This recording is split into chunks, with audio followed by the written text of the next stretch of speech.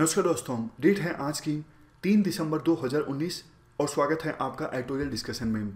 नज़र डाल लेते हैं कौन से आर्टिकल आज हम डिस्कस करने जा रहे हैं।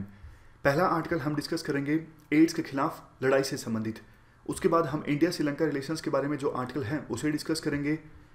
नीचे हम आर्टिकल डिस्कस करेंगे टेलीकॉम सेक्टर से संबंधित। दूसरे पेज पे देखो, यहाँ पर आर्टिकल है, करतारपुर कॉरिडोर से संबंधित। कुछ जो इंपॉर्टेंट पॉइंट्स बोले जा रहे हैं इस आर्टिकल में, वो इस प्रकार से हैं। ज़्यादातर लोगों ने विरोध किया है करतारपुर कॉरिडोर का कि इससे पाकिस्तान, खालिस्तान मूवमेंट को फिर से भड़का सकता है। लेकिन देखो, एक दूसरी पिक्चर भी है। चंडीगढ़ से लेकर लाहौर तक एक ट्रेड कॉरिडोर इस्टाब्लिश किया जा सकता है। मतलब पाकिस्तान के पंजाब और इंडिया के पंजाब के बीच फ्री ट्रेड एग्रीमेंट हो। अब आपके मन में आया होगा, ये कैसे पॉसिबल है? फ्री ट्रेड एग्रीमेंट तो दोनों देशों के बीच साइन होता है प्रोविंसेस के बीच साइन नहीं होता है। तो आर्टिकल में कहा जाता है गेट यानी general agreement on trade and tariff में इस चीज़ का प्रोविज़न है कि दोनों साइड के पंजाब के बीच फ्री ट्रेड एरिया इस्टाब्लिश हो सकता है। अगर देखो ऐसा होता है तो ट्रेड रिलेशंस दोनों देशों के बीच बढ़ जाएँगे। स्कोप देखो, दोनों देशों के बीच ट्रेड का है ऑलमोस्ट सैंतीस बिलियन डॉलर से। लेकिन ट्रेड होता है सिर्फ़ दो तीन बिलियन डॉलर से। अभी जब से आर्टिकल 370 को इनफेक्टिव बनाया गया है, पाकिस्तान ने सभी तरह के टाइस को इंडिया के साथ सस्पेंड कर दिया है। उससे पहले इंडिया ने भी पाकिस्तान से इंपोर्ट होने वाले माल पर कस्टम ड्यूटी को इंक्रीज कर दिया था। तो पाकिस्तान की तरफ़ से जो आतंकवाद को प्रमोट किया जाता है, उसकी वजह से जो ट्रेड टाइज हैं, वो बढ़ नहीं पाते हैं। लेकिन अगर बढ़ जाते हैं ट्रेड टाइज अच्छे रहते हैं इंडिया और पाकिस्तान के बीच तो देखो, पाकिस्तान के ऊपर हम एक प्रेशर डाल सकते हैं। जैसे दोनों साइड के पंजाब के बीच ट्रेड अच्छा होता है तो पंजाब, पाकिस्तान के पंजाब में जो बिजनेसमैन हैं, उनको फ़ायदा होना स्टार्ट होगा। और वो सरकार पर दबाव डालेंगे, पाकिस्तान की सरकार पर। कि आप इंडिया के साथ रिश्ते अच्छे कीजिए ताकि जो ट्रेड होता आ रहा है, वो होता रहे। अगर पाकिस्तान का इंडिया के साथ ट्रेड होता है, दोनों पंजाब की हम बात कर रहे हैं तो पाकिस्तान में रोज़गार के अवसर पैदा होंगे तो वहाँ के लोग भी मांग करेंगे कि आप ट्रेड को और ज़्यादा प्रमोट कीजिए। तो इससे एक पीस कंस्टिट्यूंसी पैदा होगी, जो कि इंडिया और पाकिस्तान के बीच पीस इस्टेब्लिश कर सकती है। ऐसा आर्टिकल में बोला जाता है। चलिए डिस्कशन स्टार्ट करते हैं। सबसे पहले इंपॉर्टेंट आर्टिकल एड्स के खिलाफ लड़ाई से संबंधित है। आप जीएस पेपर टू के इस टॉपिक से आर्टिकल को रिलेट कर सकते हो। ये आर्टिकल लिखा गया है के श्रीनाथ रेड्डी के द्वारा। देखो सस्टेनेबल डेवलपमेंट गोल 3.3 जो है, वो कहता है 2030 आते आते एड्स टीबी मलेरिया जैसी बीमारियों को ख़त्म करना है। और इस दिशा में विभिन्न देशों ने काम करना स्टार्ट कर दिया है। यूएन एड्स यूएन की ये एक लीडिंग एजेंसी है, जो एचआईवी के अगेंस्ट लड़ाई को कोऑर्डिनेट करती है। और इसके लिए देखो, यानी एड्स को जड़ से खत्म करने के लिए एक स्ट्रेटजी भी लॉन्च की गई है 1990 प्रीलिम में ये क्वेश्चन पूछा जा सकता है कि 1990 स्ट्रेटजी किससे संबंधित है? एड्स को खत्म करने से संबंधित है। क्या है ये स्ट्रेटजी ये स्ट्रेटजी देखो, ये है 2020 आते आते ये इंश्योर करना है कि वर्ल्ड में जिन भी लोगों को एड्स हैं, उनमें से 90 परसेंट लोगों को पता हो कि हाँ हमें एड्स हैं। और उनमें से 90 परसेंट लोगों को एंटी रिट्रोवायरल थेरेपी मिले। ये देखो ड्रग्स का एक कम्बिनेशन होता है, जिसे एड्स को सप्रेस करने के लिए इस्तेमाल किया जाता है। तो मतलब जितने लोगों को पता है कि हमें एड्स है, उनमें से 90 परसेंट लोगों को एंटी रिट्रोवायरल थेरेपी मिले। और जिनको एंटी रिट्रोवायरल थेरेपी मिले, उनमें से 90 परसेंट लोगों में जो एचआईवी वायरस है, वो सप्रेस हो जाए। ये इंश्योर करना काम है 1990 स्ट्रेटजी का। और ये कब तक इंश्योर किया जाने का प्लान है? 2020 आते आते देखो 1990 स्ट्रेटजी या फिर जो भी स्टेप्स लिए गए एड्स को ख़त्म करने के लिए, उनका मकसद ये है कि नए केसेस जो हैं, वो कम डिटेक्ट हों और एड्स की वजह से जो डेथ हो जाती हैं, वो ना हों। इस दिशा में जो काम किया गया है पिछले 20 सालों में, काफ़ी अच्छा काम किया गया है। विभिन्न देशों ने अपनी कमिटमेंट शो की। काफ़ी सारे देशों ने पैसा दिया एड्स को ख़त्म करने के लिए। एन भी सामने आए, विभिन्न इंटरनेशनल ऑर्गेनाइजेशंस भी सामने आई। हेल्थ इंफ्रास्ट्रक्चर को डेवलप करने पर फोकस किया गया और अवेयरनेस फैलाई गई एड्स के बारे में। सिविल सोसाइटी ने भी इंपॉर्टेंट रोल प्ले किया एड्स के खिलाफ लड़ाई को सक्सेसफुल बनाने के लिए। और इसका रिज़ल्ट काफ़ी अच्छा निकला। यहाँ पर देखो रिज़ल्ट क्या निकला। 2000 से लेकर 2018 के बीच एच इन्फेक्शन के केसेस में काफ़ी ज़्यादा कटौती आई।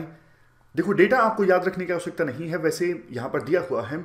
सैंतीस परसेंट न्यू एच इन्फेक्शन कम हो गए 2000 से लेकर 2018 के बीच में।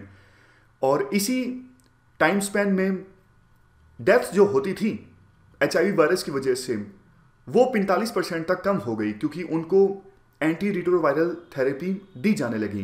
काफ़ी सारी नई इफ़ेक्टिव ड्रग्स भी बनी और वो इजीली भी अवेलेबल होने लगी एचआईवी पेशेंट्स तक, जिसमें इंडिया की जेनरिक ड्रग्स की जो इंडस्ट्री है, उन्होंने भी एक इंपॉर्टेंट रोल प्ले किया। पब्लिक फाइनेंसिंग भी हुई और प्राइवेट फाइनेंसिंग मतलब सरकार ने भी पैसा दिया एड्स के खिलाफ लड़ाई में और प्राइवेट कंपनीज़ दूसरे जो इंडिविजुअल या फिर कॉर्पोरेट ग्रुप्स एनजीओ उन्होंने भी पैसा दिया। और पहले देखो एड्स के साथ एक स्टिग्मा अटैच हो जाता था। मतलब जिनको एड्स होता था सोसाइटी उनको खराब दृष्टि से देखा करती थी। लेकिन जागरूकता पैदा हुई वर्ल्ड में। अब उन लोगों को बहुत ज़्यादा स्टिग्मा से नहीं देखा जाता है। मतलब एक राइट्स बेस्ड अप्रोच अपनाई गई एड्स के खिलाफ लड़ाई में। तभी इतने ज़्यादा सक्सेसफुल रिज़ल्ट सामने आए। लेकिन देखो, अब आप ध्यान से सुनिएगा। अब आर्टिकल का सेकंड एस्पेक्ट स्टार्ट होता है। पिछले 20 सालों में तो अच्छे रिज़ल्ट सामने आए, लेकिन अब ढील बढ़ती जा रही है एड्स के खिलाफ लड़ाई में। इसलिए इंडिकेटर्स जो पहले अच्छे सामने आ रहे थे, आज के समय में सिचुएशन उतनी ज़्यादा पॉजिटिव नहीं दिखती है।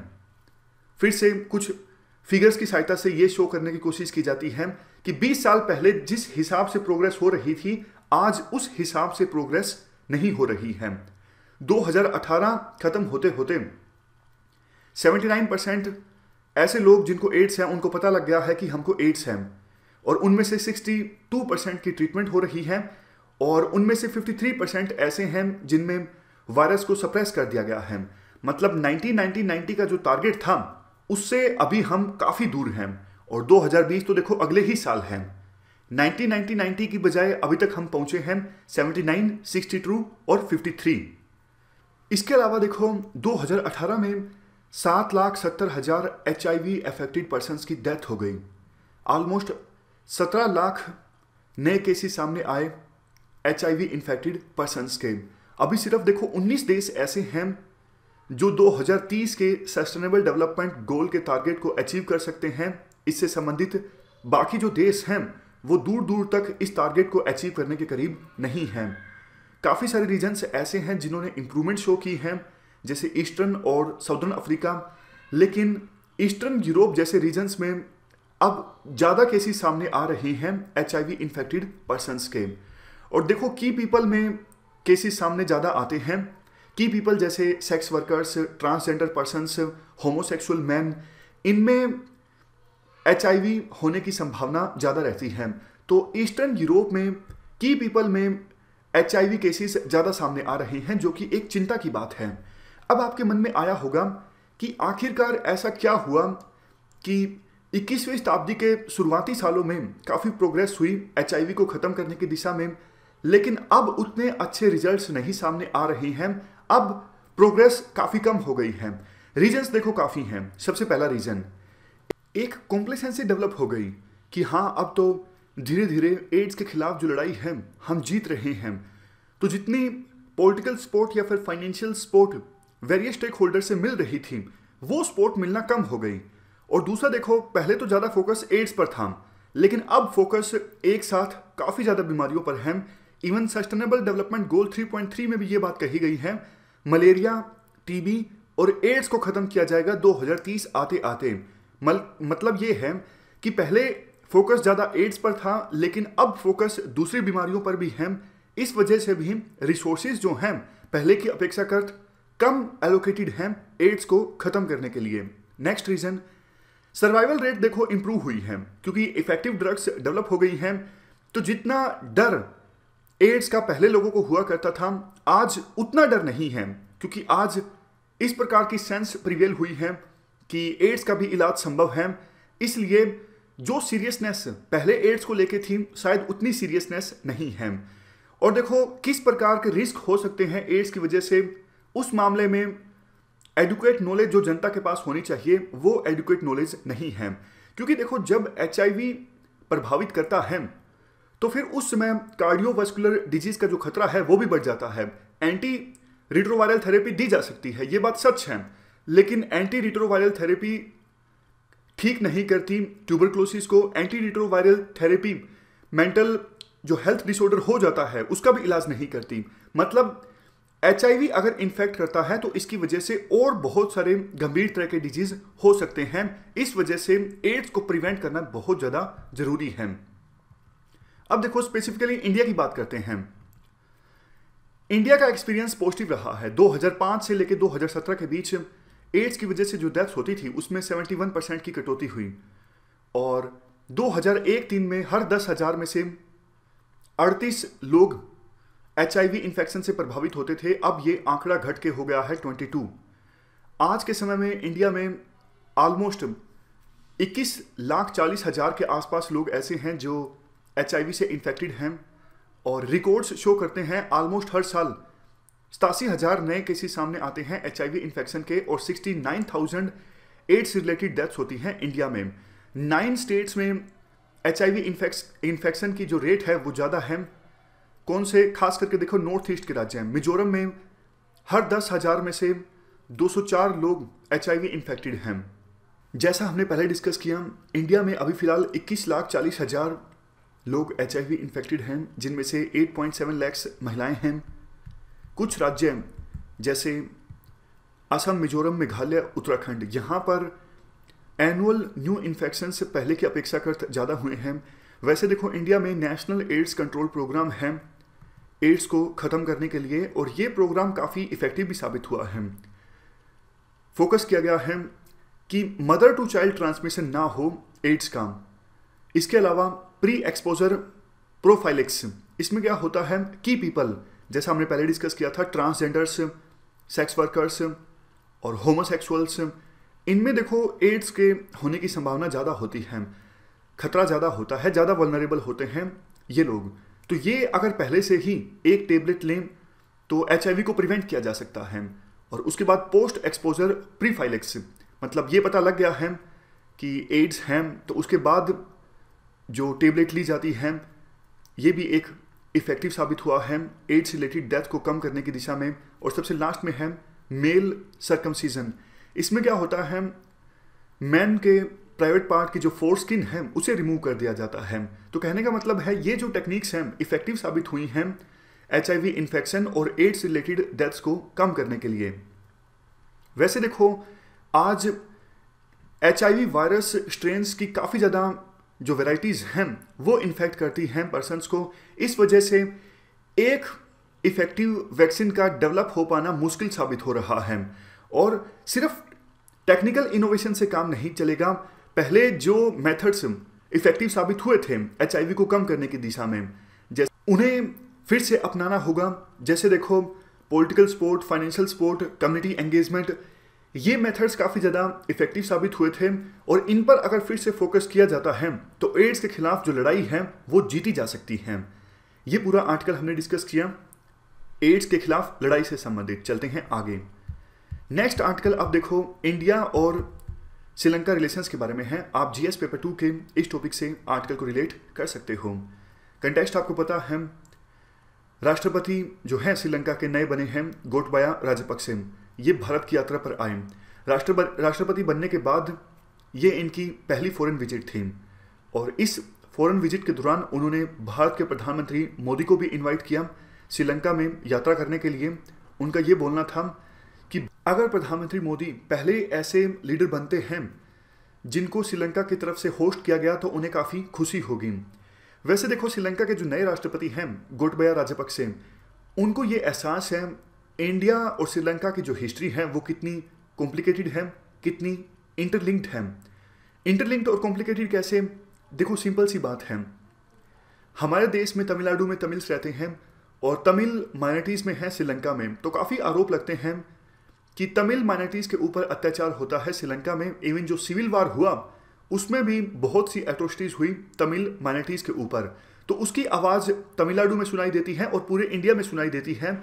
इस प्रकार से दोनों देशों की जो हिस्ट्री है, वो आपस में इंटरलिंक्ड हैं। तो इसीलिए गोटबाया राजपक्षे ने कहा कि दोनों देशों के रिश्तों में स्टेबिलिटी चाहिए कंसिस्टेंसी चाहिए और कांस्टेंट कम्युनिकेशन चाहिए ताकि किसी प्रकार की कोई मिसअंडरस्टैंडिंग पैदा ना हो। वैसे देखो इंडिया के काफ़ी सारे कंसर्न्स हैं श्रीलंका को लेके। सबसे बड़ा जो कंसर्न है, वो ये है श्रीलंका के नॉर्दर्न पार्ट में और ईस्टर्न पार्ट में, जहाँ पर तमिल्स रहते हैं, उन एरियाज़ को ऑटोनमी दी जाए, जैसा श्रीलंका ने पास्ट में वादा किया है। दूसरा कंसर्न इंडिया का ये है, श्रीलंका को लेके चाइनीज़ इन्वेस्टमेंट काफ़ी ज़्यादा बढ़ती जा रही है श्रीलंका में। चाइना ने हम्बन तोता पोर्ट को लीज पे हासिल कर लिया है कोलंबो हार्बर डेवलप किया और इवन श्रीलंका की मिलिट्री एंगेजमेंट भी चाइना के साथ काफ़ी तेज़ी से बढ़ रही है और दूसरी तरफ़, इंडिया के प्रोजेक्ट्स को आसानी से क्लियरेंस नहीं मिलता श्रीलंका में। मतलब इंडिया जो चाहता है, जिस प्रकार से इंडियन प्रोजेक्ट्स को लेकर प्रोग्रेस होनी चाहिए, उस गति से प्रोग्रेस नहीं हो पाती।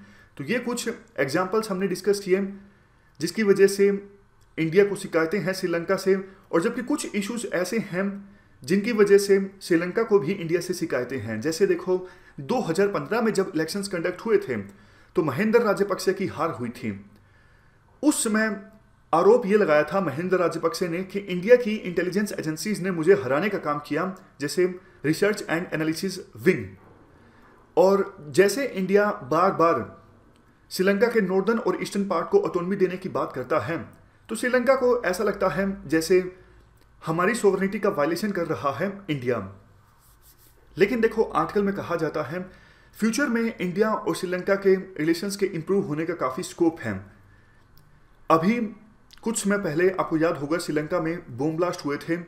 ईस्टर्न डे के मौके पर ऑलमोस्ट 250 लोगों की जाने चली गई थी और आईएसआईएस ने इस हमले की ज़िम्मेदारी ली थी। देखो, जो परपिट्रेटर्स थे इस अटैक के, जिन्होंने इस अटैक को अंजाम दिया था उनके इंडिया में भी कनेक्शंस थे, इंडिया के साथ लिंक था। तो कहने का मतलब साफ़ है कि इंडिया और श्रीलंका आपस में कोऑपरेट कर सकते हैं इस्लामिक स्टेट से निपटने के लिए और टेररिज्म के खिलाफ लड़ाई को जीतने के लिए। 400 मिलियन डॉलर्स की डेवलपमेंट एड के अलावा इंडिया ने एक्स्ट्रा 50 मिलियन डॉलर्स की एड देने का वादा किया श्रीलंका को। प्रधानमंत्री मोदी ने यह भी कहा कि इंडिया और श्रीलंका की जो सिक्योरिटी है, वो इनडिविजिबल है। देखो, ये 50 मिलियन डॉलर्स की अतिरिक्त एड दी गई थी ना, ये सिक्योरिटी पर्पजेज के लिए दी गई थी। और प्रधानमंत्री मोदी ने ये कहा भी सही कि दोनों देशों की जो सिक्योरिटी है, आपस में लिंक्ड है तो दोनों देशों को ज़्यादा कोऑपरेशन करना चाहिए सिक्योरिटी इंश्योर करने के लिए। तो अब देखो, नया रजीम मतलब नए जो राष्ट्रपति बने हैं श्रीलंका के, ये कैसे काम करेंगे? साफ़ हो जाएगा कुछ ही दिनों में।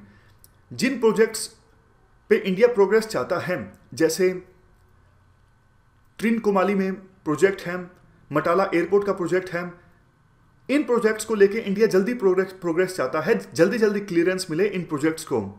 और दूसरी तरफ़ ये भी देखना होगा कि चाइना का कर्ज काफ़ी ज़्यादा है श्रीलंका के ऊपर। मतलब चाइना को बहुत सारे पैसे लेने हैं। श्रीलंका से पहले हमन तोता पोर्ट को डेवलप करने के लिए पैसे लेने थे, लेकिन श्रीलंका नहीं चुका पाया। तो 99 ईयर्स के लिए हमन तोता पोर्ट लीज पर दे दिया गया चाइना को। इंडिया को इन चीज़ों से डर लगता है। इंडिया चाहता है कि चाइना से आने वाली जो इन्वेस्टमेंट है, उसे श्रीलंका रेगुलेट करें और चाइना को जो पैसे लुटाने हैं, उसको ठीक से मैनेज किए जाएँ। ऐसा नहीं कि अपनी जो इंपॉर्टेंट पोर्ट्स या फिर एयरपोर्ट्स हैं, उनको लीज पर दे दे चाइना को श्रीलंका और चाइना फ्यूचर में उन पोर्ट्स को और एयरपोर्ट्स को मिलिट्री पर्पजेज के लिए इस्तेमाल कर दे। तो देखना यह होगा नया रजीम या नए राष्ट्रपति कैसे चाइना के कर्ज को मैनेज करते हैं और चाइना की इन्वेस्टमेंट को रेगुलेट करते हैं। देखो, एक कंसर्निंग चीज़, यानी एक चैलेंज ये भी है।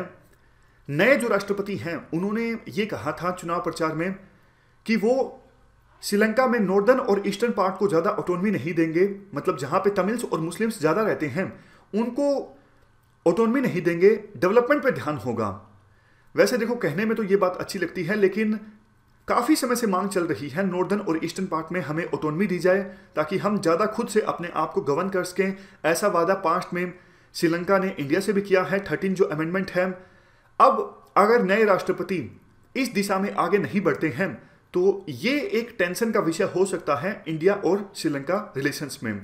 लास्ट में कंक्लूजन में एक बात ये बोली जाती है, वार तो देखो खत्म हो गया है, इंडिया और सॉरी श्रीलंका और लिट्टे के बीच। लेकिन पीस इस्टेब्लिश होने में लंबा समय लग जाता है।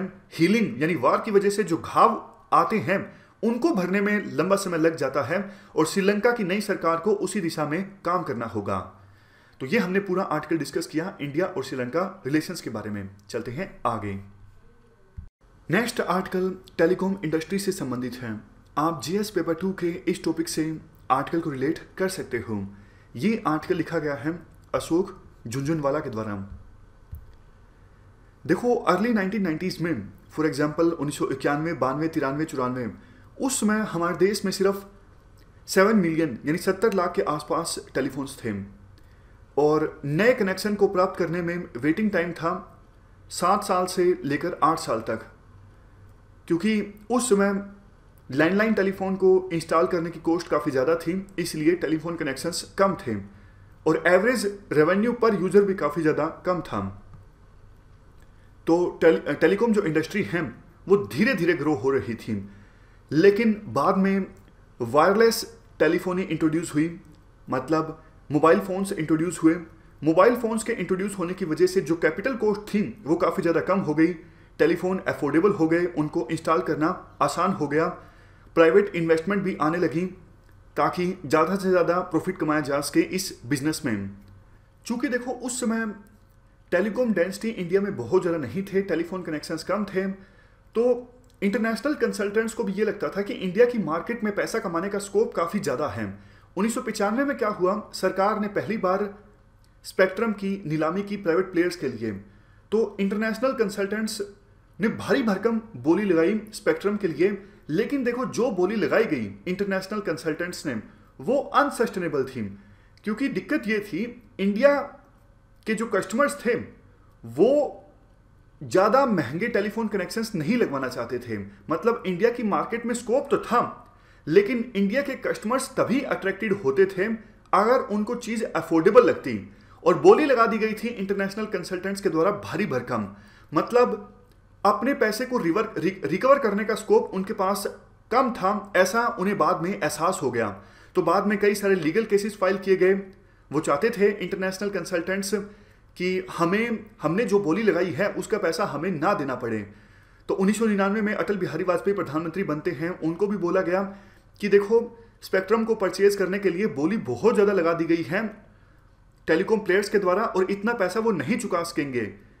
और आपके सामने दो रास्ते हैं। या तो उनको जो पैसा देना है, उसे आप कम कर दीजिए, रेवेन्यू शेयरिंग कर लीजिए उनके साथ कि जितना आपकी कमाई होगी उसका एक हिस्सा सरकार ले लेगी, ताकि लाइसेंस फ़ीस उनको ना देनी पड़े, जिसके लिए उन्होंने नीला नीलामी में बोली लगाई थी। और दूसरा ये है कि नहीं, जितना पैसा उन्हें, उनसे लेना है, वो आप ले लीजिए। बदले में ये हो सकता है कि टेलीकॉम प्लेयर्स बैंक हो जाएँ और इंडिया में टेलीकॉम डेंसिटी ना बढ़ पाए। तो अटल बिहारी वाजपेयी ने काफ़ी सूझबूझ भरा फैसला लिया। उनको ये एहसास हो गया था कि भारी भरकम बोली तो लगा दी गई है टेलीकॉम प्लेयर्स के द्वारा। गवर्नमेंट को तो इससे फ़ायदा होगा, लेकिन वो फेल हो जाएँगे और टेलीकॉम डेंसिटी हमारे देश में नहीं बढ़ सकेगी। तो 2001 में सरकार ने रेवेन्यू शेयरिंग का मॉडल साइन कर लिया इन टेलीकॉम कंपनीज़ के साथ। आप भारी भरकम लाइसेंस फ़ीस मत दीजिए, आप रेवेन्यू को शेयर कर लीजिए। ये काफ़ी बोल्ड डिसीज़न था। अटल बिहारी वाजपेयी को ये पता भी था कि शायद मुझ पर ऐसा आरोप लग सकता है कि आपने सरकार का जो रेवेन्यू है, उसे खो दिया है। लेकिन वो फैसला बहुत ज़्यादा ज़रूरी था। अदरवाइज़ तो टेलीकॉम कंपनीज़ उसी समय फेल हो जाती उसके बाद क्या हुआ? जैसे देखो रेवेन्यू शेयर होने लगा तो टेलीकॉम कंपनीज़ फिर से थ्राइव करना स्टार्ट हो गई। और टेलीकॉम डेंसिटी हमारे देश में बढ़ने लगी। 2003 आते आते हमारे देश में 300 मिलियन टेलीफोन लाइंस अवेलेबल हो गई। लेकिन देखो, दिक्कत ये थी, ये जो टेलीफोन कनेक्शंस थे ना, ज़्यादातर अर्बन एरियाज़ में अवेलेबल थे। और तीन मुख्य प्लेयर्स थे एयरटेल वोडाफोन और आइडिया ये खुश थे।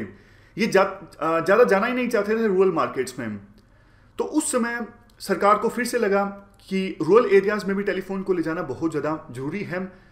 तो रेवेन्यू शेयर बेसिस पर ही उस समय नए प्लेयर्स की एंट्री हुई जैसे रिलायंस कम्युनिकेशन और टाटा टेली सर्विसेज़ टाटा का जॉइंट वेंचर भी आया था जापान की टेलीकॉम कंपनी डुकोमो के साथ।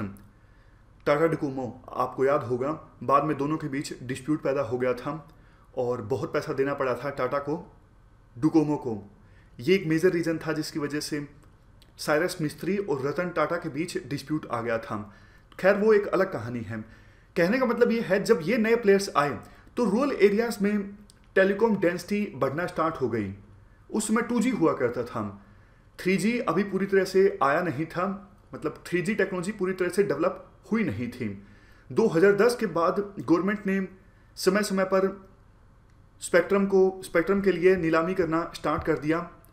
और 2013 में क्या हुआ? 2300 से लेके 2500 मेगा हर्ट्स बैंड के लिए गवर्नमेंट ने स्पेक्ट्रम की नीलामी की। अब देखो, ये जो स्पेक्ट्रम का बैंड था 3G के लिए सुटेबल था नहीं, और 4G टेक्नोलॉजी उस समय डेवलप हुई नहीं थी पूरी तरह से। रिलायंस जियो ने ये स्पेक्ट्रम खरीद लिया पूरे देश के लिए। बाद में तीन चार साल लगे रिलायंस को 4G से संबंधित टेक्नोलॉजी को डेवलप करने के लिए। लेकिन बाद में जो रिलायंस जियो है इसने टेलीकॉम इंडस्ट्री को पूरी तरह से हिला कर रख दिया। ऑलमोस्ट फ्री बेसिस पे सिम बेचना इन्होंने स्टार्ट कर दिया free calls free video calling तो इन सब चीज़ों से बाकी जो पहले इस्टाब्लिश प्लेयर्स थे, उनको काफ़ी ज़्यादा नुकसान हुआ, जैसे एयरटेल वोडाफोन और आइडिया अभी वो कोशिश कर ही रहे थे कि कैसे रिलायंस जियो का मुकाबला किया जाए उससे पहले सुप्रीम कोर्ट का एक वर्डिक्ट आ गया, जिससे तो टेलीकॉम इंडस्ट्री में भूचाल सा आ गया। क्या हुआ? क्या था वो वर्डिक्ट इससे संबंधित देखो, एक आर्टिकल भी हमने पहले डिस्कस किया था।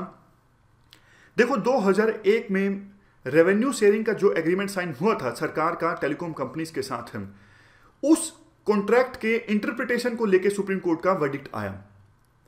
कॉन्ट्रैक्ट को इस प्रकार से इंटरप्रेट किया गया है सुप्रीम कोर्ट के द्वारा कि टेलीकॉम कंपनीज़ को जो एक्स्ट्रा बेनिफिट्स होते हैं जैसे देखो, आपने टावर लगवाया है अपने किसी एसेट पर, उससे किराया आएगा, आपने कहीं और इन्वेस्टमेंट की है, वहाँ से आपको डिविडेंड प्राप्त होगा प्रॉफिट होगा, आपने मोबाइल हेडसेट को बेचा है, उससे भी आपको रेवेन्यू प्राप्त होगा तो ये भी आपको सरकार के साथ शेयर करना होगा।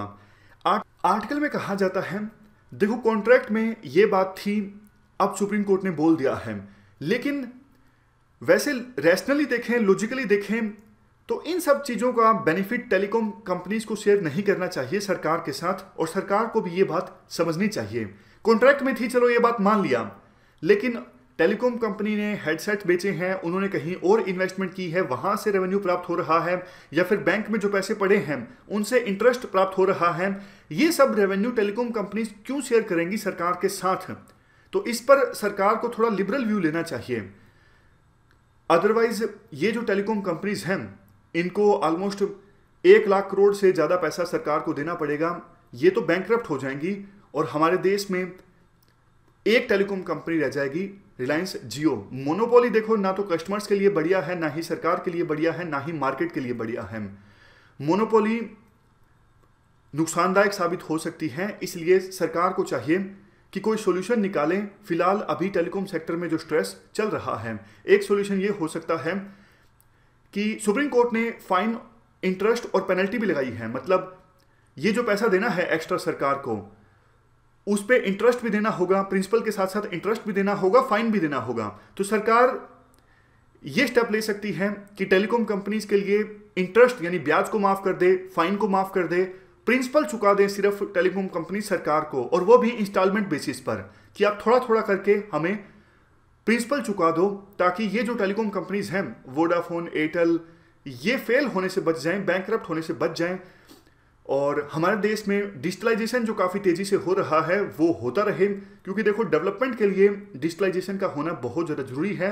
इसलिए सरकार को कुछ बोल्ड स्टेप्स लेने होंगे टेलीकॉम इंडस्ट्री को संकट से उबारने के लिए। तो ये हमने पूरा आर्टिकल डिस्कस किया टेलीकॉम इंडस्ट्री से संबंधित। और हमारी आज की इस डिस्कशन में इतना ही है। आज हमने तीन इश्यूज़ को डिस्कस किया। Thank you thank you very much for discussion